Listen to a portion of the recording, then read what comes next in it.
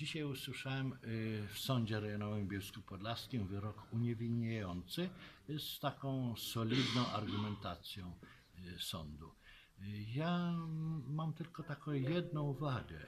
W jakim celu rozpętała się ta burza? Z igły zrobiono widły.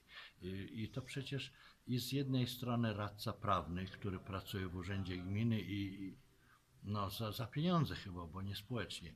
I wójt gminy, który już y, kilkakrotnie, y, no, kilka kadencji jest wójtem, oraz komendanci w komendzie policji w Bielsku Po- Powiatowym mieście nie wiedzieli o tym, że każdy obywatel ma prawo wstępu na posiedzenie Komisji Rady Gminy.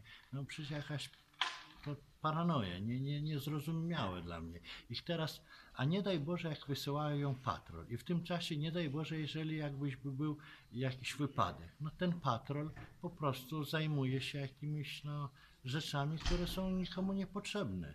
Po prostu umilają tylko życie. Tu nie chodzi jakby tylko i wyłącznie o mnie. Tu chodzi o to, że, że no, to jest chore no, i coś z tym no, należy, trzeba no, w przyszłości zrobić. Dziękuję Państwu.